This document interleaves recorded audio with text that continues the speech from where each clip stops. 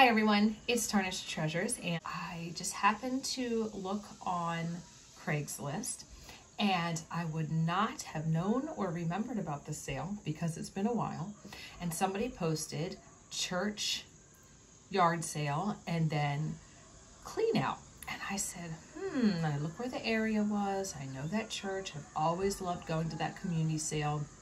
Then I remembered they always said it was the second uh, Saturday in September so I searched and searched and went to the church website, looked all around, and then there it was, the advertisement. Well, it's funny uh, because when I got there, it was all the usuals for all of the church sales and the estate sales. And I thought, really, it wasn't advertised on Craigslist or online. I wonder how they heard about it. It was more of maybe just remembering or driving through the neighborhood. Anyway, I'm very excited. So I went to the um, church rummage sale and then they sell like little spots outside. So individual yard sale people and then all the neighborhoods around do it. So i went to many. I i think i only spent about $18 or so. I don't think i even had $40 in my wallet and i still have a $20 bill. So cheap cheap day and i got some great stuff for art and crafting. So i know a longer introduction than usual, but we'll get into it now. And of course, the weather was amazing. So I paid $5. This was the most that I spent on anything today. And um, you'll notice it's a lot of things that I plan on uh, making art with and actual art supplies. Uh, it just seemed like there were a lot of people who were, you know, artists or had estates of artists that were clearing some things out. And uh, the man wanted $5 for this. He says that they're real. Um, said he had a store and he would sell them. says Naturally Pacific Imports, Washington, D.C. So I'm definitely going to get into here and check them out.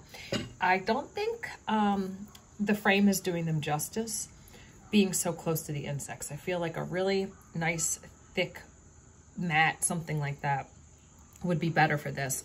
But I do love insects. I love to use them in my art. I think this would be perfect to display for Halloween, but also uh, in my son's room because we do have a collection of butterflies. So I thought a little bit about this and I said, $5 is really good and I can imagine it presented differently. I believe the reason why I just didn't go for it is because I just don't think that does it justice. So we're gonna open up that later, check it out. Probably not on camera though. Also at that man's yard sale, I spent 50 cents for this linen. Looks like it's probably a Paris souvenir. Silky little handkerchief. I just thought that that was nice. So I'll put that in my collections and who knows what I'll use it for. Then I also picked this one up because silk um, fabric and handkerchief is my favorite to find. And this one has a little, I, I read it as Lily of the Valley. I think it is. A little bit of Lily of the Valley embroidery. And this one is silk with the hand rolled and stitched edges. 50 cents for that. So $6 at his yard sale. And the other yard sale that I spent the most at I got this tin. Now, these tins can be expensive and collectible, and uh, I could tell that this was the man who had advertised on Craigslist at, as an estate cleanout. So I said, how much for the tins? I Asked, you know, prices on a few things just to gauge what he wanted since nothing was priced. He said tins a dollar, which I thought was really good. I thought, Probably going to take it up there and he wants more, but nope, just a dollar. So this one is an orange, black, and white. Definitely picked this up for Halloween. Um, it's just a, a shoe wax polish, so I'll just keep it closed. But I just really liked the graphicness of the numbers on this one. And then I also picked this one up for Halloween because it's black and white. So I believe that I've got one other tin similar like this, you know, some type of everyday product, round, really nice like image. I believe it's a moon. So that could make a nice little grouping and the price is right. Um, I'm going to clean them up though. So I also purchased this from him and I paid 250 each for these. Could have maybe tried to bargain, but um, really worked out that I didn't pay much for um, the rest of the stuff that I got. So it was fine. And the more I thought about it, I thought, you know, these could be could be antiques and they are in nice shape and they're not chipped and I can think of something to do with them.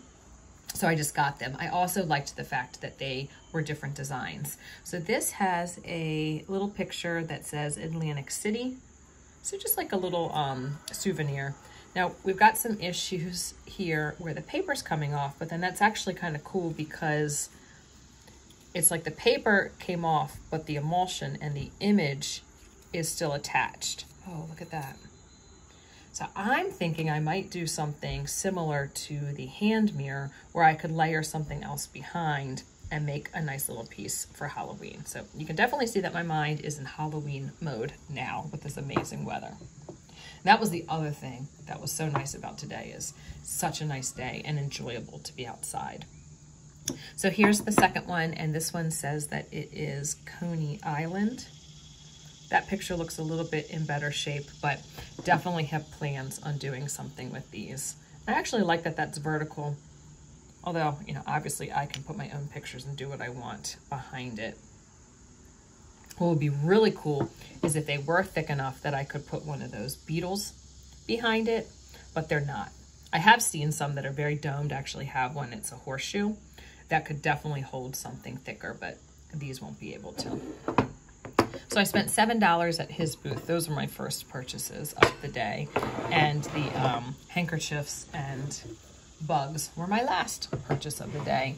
And then in between, it was like a quarter, 50 cents, a dollar.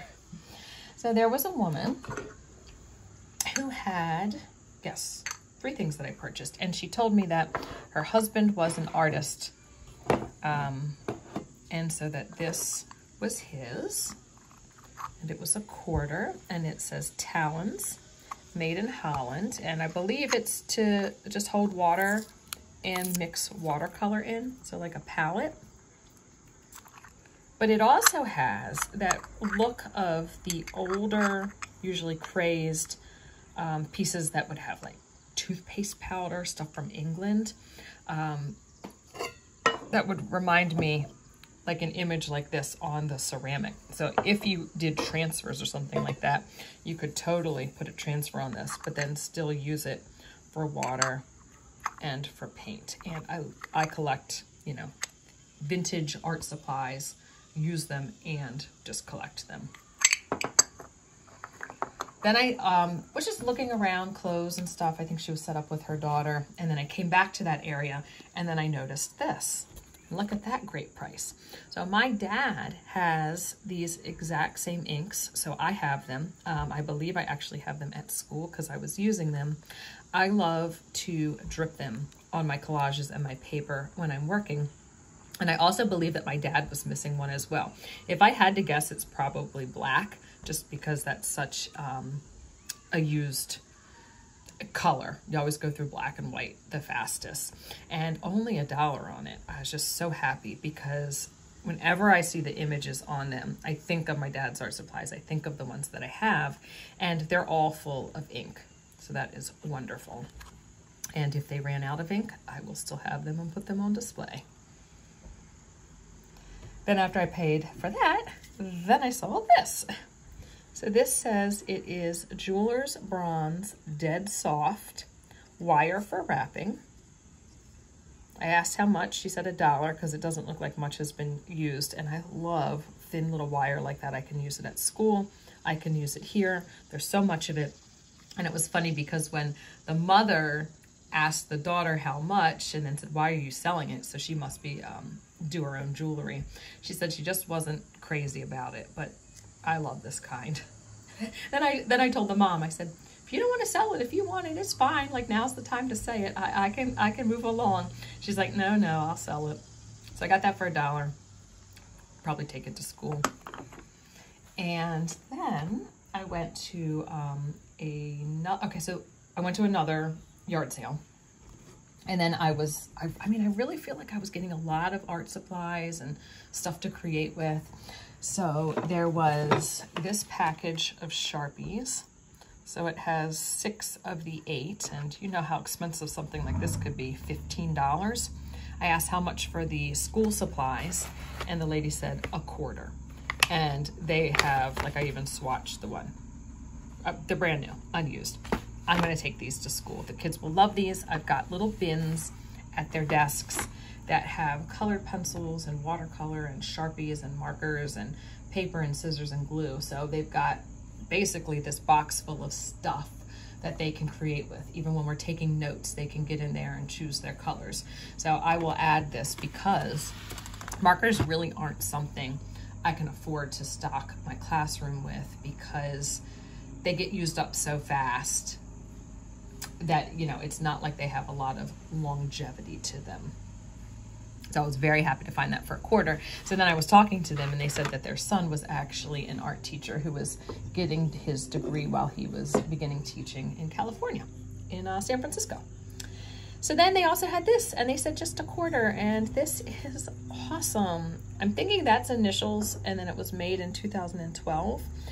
I love this, but I'm gonna take it into school to show my students because of all the texture. This is exactly what we're about to start next week. It does appear like um, probably some type of plaster cast was made. And then after it was made, then they, you know, pinched out clay and pushed it down in there because of all that beautiful texture and detail that's raised, not indented. But I love, um, I love the strawberry motif and I like the way that they added the color. I like the black that's uh, put on and then rubbed away.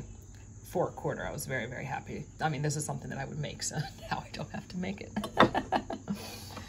and then uh, the last thing I got, which I think many of you will be excited to see. This was the second little uh, stand at the church that I went to, and there was a big box. Oh, actually, I have two things left a big box and I could see this in it. And I said, oh my gosh, that is a stack of vintage Christmas cards. And it turned out to be a lot of sympathy and uh, a few Valentines and mainly Christmas. And I said, how much for the cards? Thinking she might say a dollar a piece. She said 10 for a quarter. So I went through, I took a lot, but not all this came to a dollar 25 I am so excited. These are great to just put on display in flower frogs. You can do circle punches and make tags with them. And I know that I've been given a lot and I absolutely love them. And I don't know if I could collect every design of vintage Christmas card, I would, but I think that's impossible. So uh, the girl had said that this was her parents' things and she was uh, selling it for them. But just looking at her age, I believe these were her grandparents. And then her parents had them. She said her parents had lived in England. There was a cool map for sale. And everything was like a quarter, 50 cents, a dollar. You could just tell she wanted it gone. Um, so I also got one of those printer's trays and I asked her how much, and she said a dollar. And as another lady near me heard heard her say that, there must have been a, a, smaller one down on the ground. So she picked it up immediately and handed the lady a dollar. So I got the bigger one. Another lady got the smaller one, but I would have bought both um, and just taken them into school and seen if the kids want to like sculpt with them or just keep it there. And that's probably what I'll do with the big one.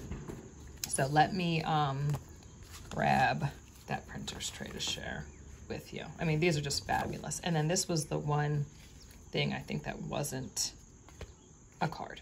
Before I get it, I wanted to share with you this one. Sometimes these are my favorite, are the ones that are matte and kind of plain. I love the font, and I'm always drawn to the uh, candy cane motif. This is an extremely large printer's tray, but not too heavy. It's got a sawtooth hanger on the back like I said, I'm going to take it into school and see if the kids want to do anything kind of reminiscent of a Joseph Cornell uh, box or Louise Nevelson if they were inspired by that artist. I also got some free fabric and architecture magazines that I'm going to take to school as well. So thanks for watching. I hope you enjoyed seeing my treasures and I'll see you in another video. Bye.